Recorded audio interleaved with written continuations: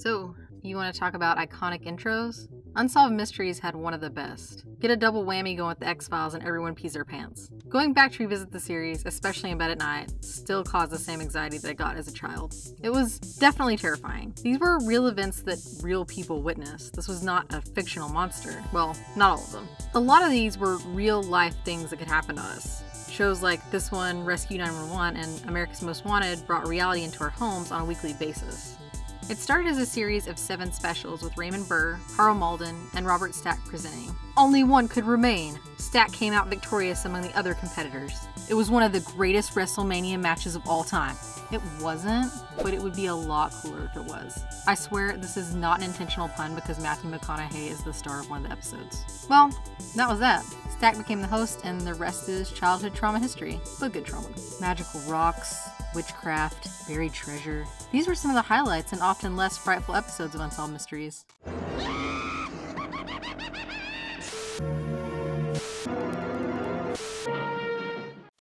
As I mentioned a second ago, as kids watching these episodes, we would take a lot of this at face value. There was no internet at the time for us to get a chance to debunk any of this. Not to mention that, as someone who grew up in the South, there was a lot of chit chat among the ladies of the family who had heard from someone's cousin's stepfather's mailman baseball coach that they had heard of a similar experience. Well, you know, Teresa told me that her cousin Tammy heard from the cashier of the Piggly Wiggly The customer came through ranting and raving that she had seen one of them unidentified objects land next to their barn. Two of their prize cows just mysteriously disappeared. I bet it was them aliens. Who, who the fuck is gonna fact check Teresa at the time? But maybe she was right. Tom DeLonge from Blink 182 helped the government find aliens, and the government officially opened a UFO investigation office, so maybe there's some weight in it after all. But the point being that the things you were skeptical about, the things that you held on to for 20 years, you just held on to them. You went to school the next day and you talked to your friends about spontaneously combusting. Anytime you got a fever after that, you thought you were gonna fucking explode. Oh, and those title cards, that's just the one for unexplained deaths is so fucking. It's burned into my brain. Honestly, the subject could be anything and it would still be horrifying. It could say, like, Snuggles the bear or Sunshine, and it would still scare me. The daunting task of picking the creepiest episode segments was no easy feat. However, I've narrowed it down to a few that stuck with me over the years. The Tall Man's Ghost, Special Halloween Edition. I'm going to start with the one that everyone should be familiar with. It aired as part of a Halloween special featuring legends and haunted places. This one feels like a slightly more tame poltergeist. A family moves into a home in a small town in Wisconsin. One day, they bring home a bunk bed from a secondhand store. Yeah, just follow. After bringing the bed in, terrifying events begin to occur. First, it starts with the illness of the Tallman children. The wife noted that the kids were never sick before, but it felt like they were just going to the doctor all the time now, and sometimes with all the kids being there. Next, their son Danny is sleeping next to a clock radio in his new bedroom, and as he's trying to sleep, the radio goes at full volume with the dial going back and forth. All the kids at some point have seen the same witch with red eyes who they see is burning.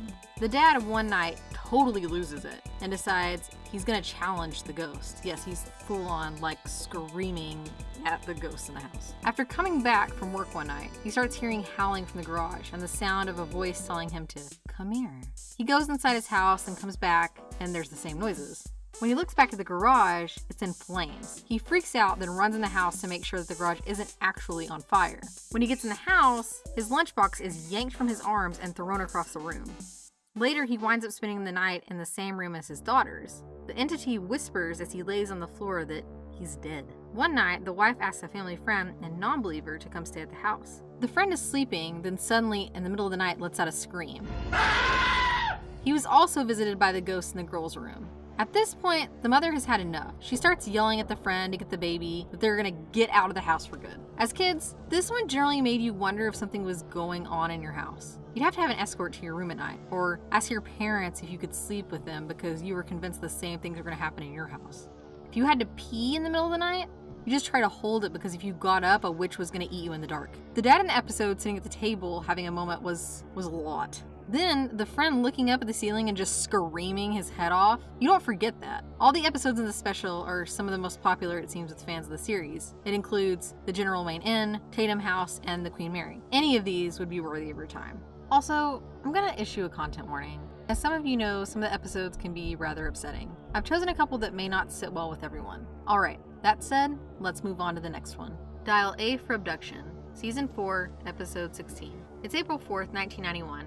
Angie drops her fiance Rob off at his house. She tells him that she'll call him whenever she gets home. A little later, he gets a call from Angie, who's at a payphone. She says some guy in a green truck has been following her around. They both can't say that they've seen the truck around town. Also, to note, they live in a super small town. The guy in the truck pulls up beside the phone booth. She starts to tell Rob more about the truck and what the guy looks like. The guy gets out and tries to use the phone in the booth next to Angie's. They figure he must be lost. He quickly gets out, then goes back to his truck to look around with a flashlight. Angie steps out of the booth and asks him if he needs to use the phone. He tells her no and that he'll try again in a minute. Rob asks Angie if he needs to come up there, but Angie brushes it off. They both decide to move on and talk for a few more minutes until Angie's blood curdling scream comes through the receiver. And that's when I heard her scream on the phone. Rob drops the phone and immediately bolts out of his house into the car. He takes off into town, and when he gets there, he sees the truck in question. He hears his name being screamed by someone hanging out of the truck. Rob followed the truck for two miles until his transmission gave out as the truck was making a sharp right. This is the last time Rob sees or hears Angie. The police did an extensive search, but didn't come up with anything. No one claimed to see the truck or Angie. The thought that Angie saw Rob coming in his car to rescue her and then it never happens is crushing. The original episode doesn't mention that Angie was four months pregnant at the time, which makes your heart sink even more. Before the segment ends, Stack says that Rob heard something the kidnapper said right after Angie screams, which was, I didn't need to use the phone anyway. The case, as far as I know, has still never been solved. Okay, so I may have told you all this before, but I was the kid who thought aliens were cool. You guys partake? And if I could talk to them, they would totally get me and be cool to all of humanity. Yeah, I was, well, me.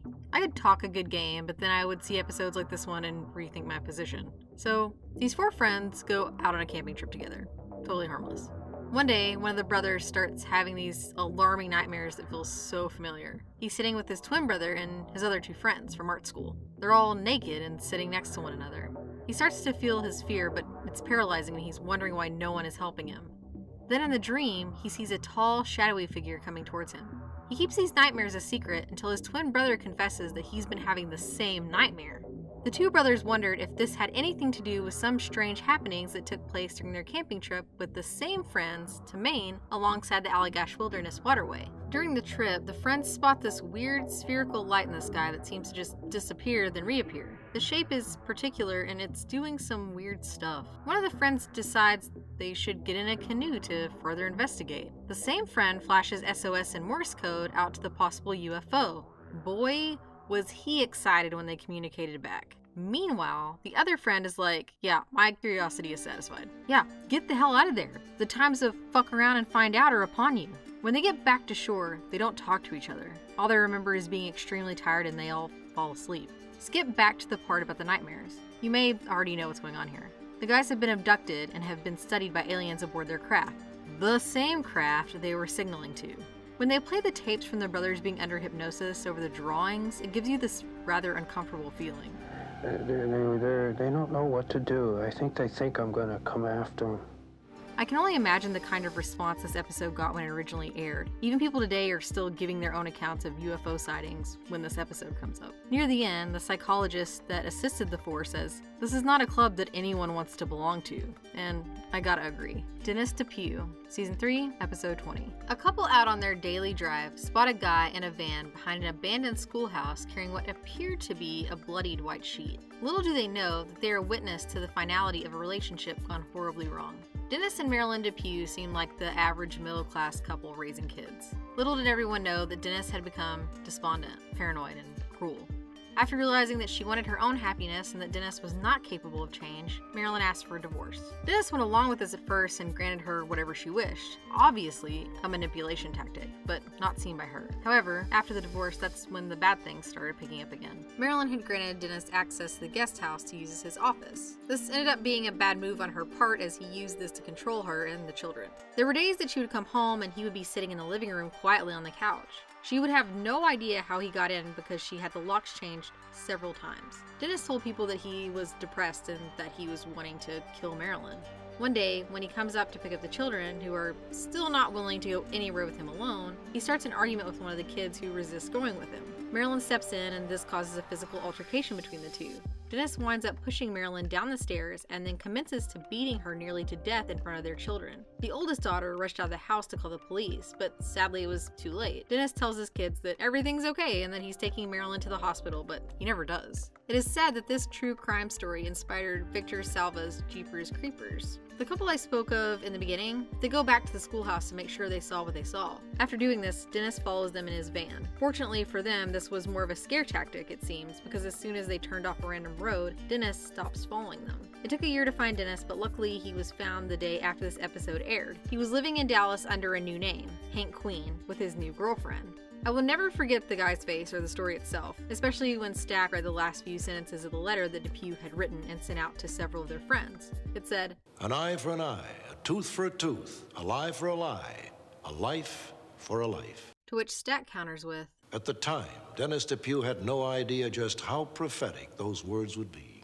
Spontaneous Human Combustion, Season 9, Episode 14. So, I had to present this one last. I'm sure many of you remember this. Images like a woman suddenly catching fire in her kitchen, or a sunken, burned impression in a bed probably start flooding your brain. This one starts with an account from a wife who starts to catch fire in her kitchen. We see her back smoking, and her husband comes immediately over to take her shirt off, revealing no fire or burns underneath. The kitchen is filled with smoke, but there's no evidence of where it came from or that a fire even started. Next, we hear the story of a son who goes to visit his dad at home after many failed attempts at trying to reach him. When he gets inside the house, there's smoke in the air, and when he enters his father's room, he appears to see a silhouette in the bed, with smoke and ash coming off of it. The TV across from the bed was also melted. Bizarre, right? How the heck does this happen? There are two explanations from the experts. One, electrical current flows naturally produced in the body. All that electrical current builds up, and there you go. Two, there's no real scientific evidence that this has ever happened, and it can be easily solved by the factors surrounding the death. Both of the gentlemen in the episode happen to be smokers. I will say that the guy from the Skeptic Inquirer magazine probably has the best line of the entire segment. So the mystery mongers ought to shut up and get a life totally made me snort. It's they're they're so serious. It's it's impressive. Regardless, the thought of this happening along with the photographs shown in the episode make it one that stays burned in your brain forever. I'm more than sure you guys will have some of your own. Just make sure they aren't episodes of Beyond Belief. I love you, Jonathan Frakes. There are many, many places to watch episodes. I don't recommend doing it in bed at night, though. Honestly, that's what makes the series so solid, is that it doesn't matter what time of the day it is, it's still gonna scare the boogans out of you. There is no escape. You can get the series on DVD, or it's more easily accessible on Pluto if you're cool with random episodes. FilmRise has them, but Tubi is the better way to go unless you want to be bombarded by the same eight ads for Liberty Mutual Insurance that feel like they go on for an eternity, and then you only get two minutes of the actual show. Free streaming pains. Now, there is a FilmRise True Crime channel on YouTube. Less ads, but still ads because YouTube. So, how did it end? Where is it now? To the surprise of absolutely no one, the series came back in 2020. It's got some pretty good episodes, but it doesn't have that same edge that the original did, which I think was to be expected. There's also a strong lack of Stack, who was a tremendous presence. You can't really fill those shoes. Maybe Keith Morrison could. So, not having a host isn't a huge bother. There's also a podcast hosted by Steve French, not to be confused with the mountain lion of the same name. Really, the show bounced from NBC to CBS to Lifetime during its original run. It was brought back in 2008 after the contract with Lifetime had finally run out. Dennis Farina took over hosting duties for the next couple of years, though the show itself was criticized for repurposing episodes from the first series and making them shorter. I also feel compelled as a vinyl collector to tell you that Terror Vision got creator John Cosgrove to make a deal so they could release the soundtrack. I wanted to buy this, but still cannot bring myself to do it. The fact that Ryan Graveface sat through all of those DAT tapes just utterly amazes me. The man needs some kind of award for his bravery and sheer badassery. I would have been crying a minute into it. I know we already mentioned the music, but it plays such an integral role in the series. You can't put the Benny Hill theme over that and expect it to work out, then can you? I like to think that one day I'll have the courage to finally buy it, but then it will take another five years before I can bring myself to listen to it. They still have copies of Volume 1 and 2, which are beautifully pressed, so please go grab yourself a copy. Unsolved Mysteries will always be a core memory for us. It sparked our imaginations with Mothman, Bermuda Triangle, ghosts, aliens, and all the weirdness in between. Like America's Most Wanted, it also helped catch criminals and reunite people with their long lost family members. Sure, I want to die a little inside every time I hear the music, but it immediately triggers memories for me. Not just around the show, but childhood memories built around it. It's still a solid show, and the fact that it came back is a testament to that. No, you don't have to miss the show too much, but giving it some extra love never hurt either. Stay spooky, my friends.